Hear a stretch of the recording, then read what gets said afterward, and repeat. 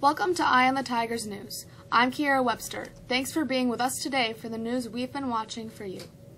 As the scope of a deadly Northern California wildfire set in, the sheriff said more than 450 people had now been assigned to comb through the charred remains in search for more bodies. The blaze has killed at least 56 people, and authorities say 130 are unaccounted for. Many of the missing are elderly and from Magalia, a forested town of about 11,000 to north of Paradise. A week after the deadly Camp Fire struck, police teams drive around Magalia searching for those still in their homes, checking if they need any food and water. Crews from Pacific Gas and Electric are also in the area. With a death toll at 56, it is the deadliest wildfire in a century. There were also three fatalities from separate blazes in Southern California. Republican Rep. Kevin McCarthy easily won an internal party election to take over the shrunken House GOP caucus, handing the seven term Californian a familiar role of building the party back to a majority as well as protecting President Donald Trump's agenda. With Speaker Paul Ryan retiring and the House majority gone, the race for minority leader was McCarthy's to lose Wednesday but rarely has a leader of a party that suffered a major defeat. Democrats wiped out Republicans, and GOP held suburban districts from New York to McCarthy's own backyard. Been so handily rewarded. Nancy Pelosi is expected to be elected House Speaker by the new Democratic majority next week. Saudi Arabia's top prosecutor announced Thursday he's recommended the death penalty for five suspects charged with ordering and carrying out the killing of Saudi writer Jamal Khashoggi at the kingdom's consulate in Istanbul.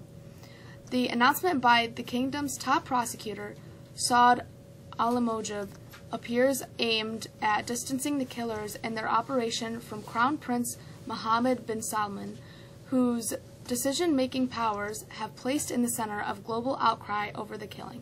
The announcement was published in a statement carried by the state-run Saudi press agency. The brutal death of Khashoggi, a Washington Post columnist who had been critical of the Crown Prince, has shocked the world and led many analysts and officials to believe it could not have been carried out without the prince's knowledge. The first hearing in CNN and Jim Acosta's federal lawsuit against President Trump and several top White House aides ended with the judge saying that he would rule on Thursday. CNN and Acosta are alleging that the White House's suspension of his press pass violates the First and Fifth Amendments. Their lawyers are asking for a temporary restraining order and a preliminary injunction that would restore his pass right away. They also want the administration's action deemed unconstitutional. CNN and Acosta filed suit on Tuesday. The case was assigned to Judge Timothy J. Kelly, a Trump appointee.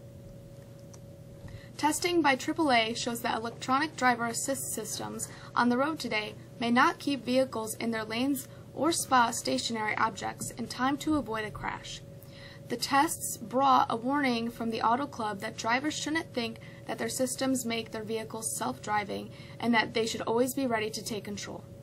AAA also said that use of the word pilot by automakers in naming their systems can make some owners believe the vehicles can drive themselves. Much of the area is under a winter storm warning beginning later tonight. How much snow will we get? Here's Joe Lee with the forecast.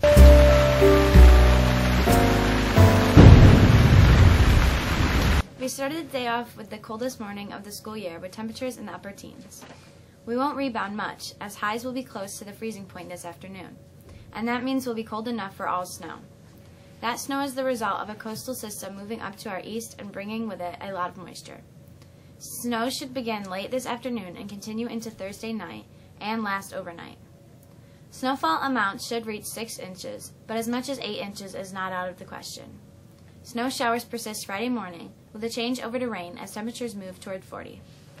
Some more wet weather expected Friday night, and then again on Saturday.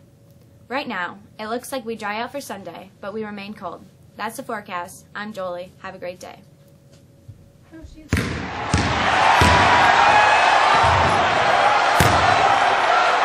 Syracuse basketball renews an old rivalry tonight.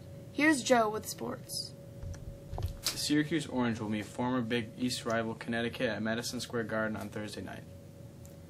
The game part of the 2K Empire Classic doubleheader. The second game features Oregon versus Iowa. The SU UConn game will start at 7 p.m. on ESPN2. Syracuse is 2-2-0 and ranked number 15 in this week's Associated Press poll.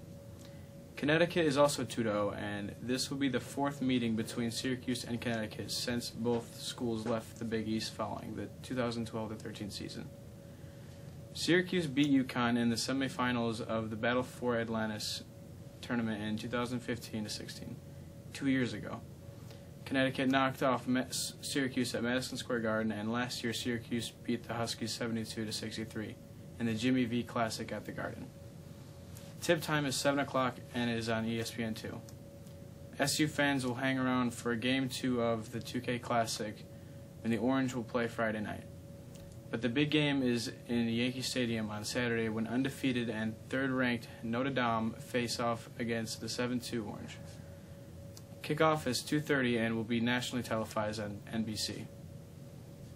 With the start of New York's most popular big game season just days away, the State Department of Envi Environmental Conservation is encouraging hunters to be safe, have fun, and enjoy the environment, and consider passing up on shot of young bucks.